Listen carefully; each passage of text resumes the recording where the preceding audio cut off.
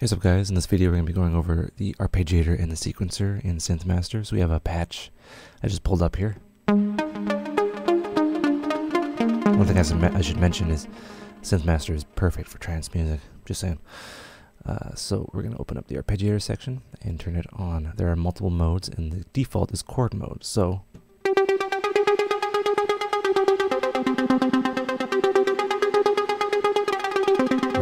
chord mode means you can play. Uh, so usually, if you if you have like a regular arpeggiator, it will go first note, second note, first note, second note. If you press uh, more than one note at the same time.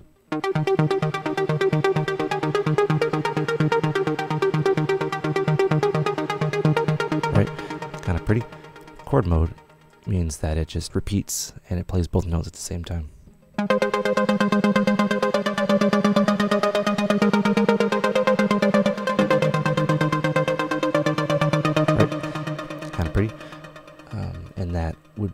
Basically the two modes, and you have uh, uh, up down, up plus down, up plus down two, up down plus up, and then down plus up two is, and as played is uh, kind of like the traditional way of how the notes will cycle in between each other, and I'll just give you an example of that. Right. So if you're pressing more than one note, we'll go. We'll play a triad. Right. It'll play in that kind of succession. Uh, we have the three, we have four steps if we go three. For three notes, it'll constantly uh, reset. Also, you can adjust the velocity of each note and uh, all that. So we will go arpeggiate, and this will be kind of the order of things and how it works. So I will go, yeah, I'll just have like a major, I'll just have a triad here. And I'll show you what it does. So you can have it set up and you can change you want it to go up one octave and then down. Right? Or you can uh, have the priority of the second, third, or last, or you can have a random, which is pretty cool. Uh, another thing I should mention is there's uh, the slide and hold. Slide is like a TB303 where he goes boo doo doo doo right? Okay. Someone sample that because that was ridiculous. Uh, that's with the kind of the 303 kind of gliding and accent. Hold means that it ignores the duration, which brings us to our duration. You'll notice up here that we have duration. So we can go very small duration. Right? Uh, we'll go uh, four. And uh, we'll go. Yeah, we'll just hold the third right? So you can see what it's doing. Do, do, do, right? Right? Uh, swing, you can physically see, and I really like how the arpeggiator is laid out.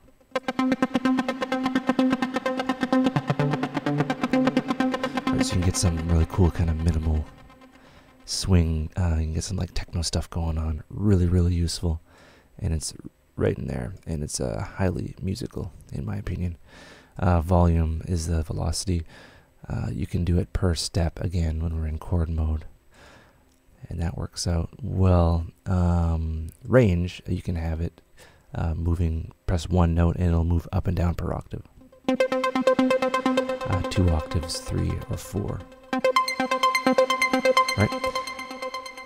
We can have multiple steps, which we'll get into. We can have a sync rate of all of these fun little things. Uh, 16 triplets.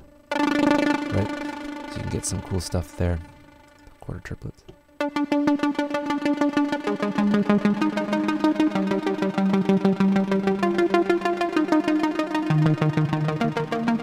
Right. Really fun. Uh, we'll go. Uh, we'll go 16s for now, and uh, velocity step note. So that will be for say if we have a sequence, we can draw in a sequence and if you click on anything and you drag horizontally, you can make the sequence longer, the note longer. Right, so you can get like typical techno.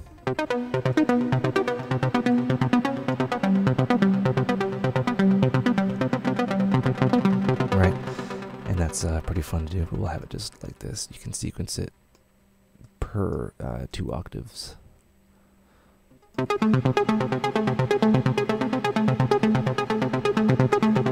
for the for the techno guys, not just for the trance guys, you can make really interesting uh, uh, kind of quick sequences uh, that would be kind of weird to punch in. You can have them repeating on uh, weird kind of steps. So that would be, you know, we can have it repeating like 11.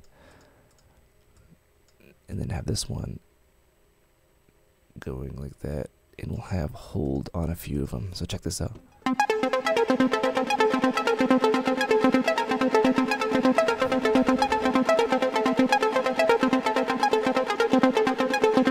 Right, so that's kind of like not musical at all, but you get the idea.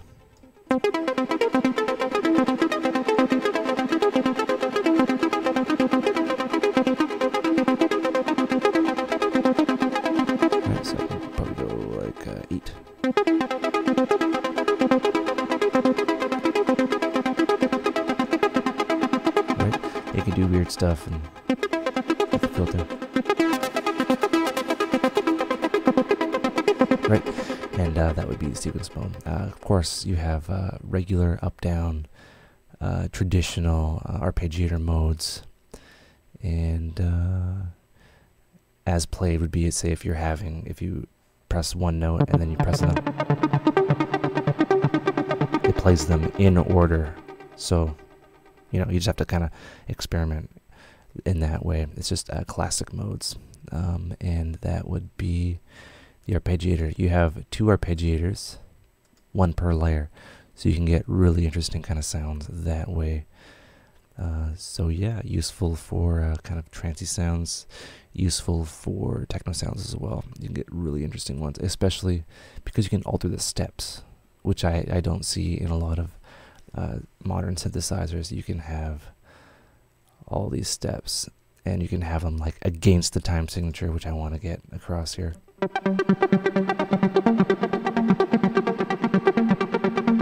Right, you can do cool stuff, especially with a sequencer. Um, yeah, uh, that is the arpeggiator and sequencer for SynthMaster. Hope you learned stuff, and uh, take care.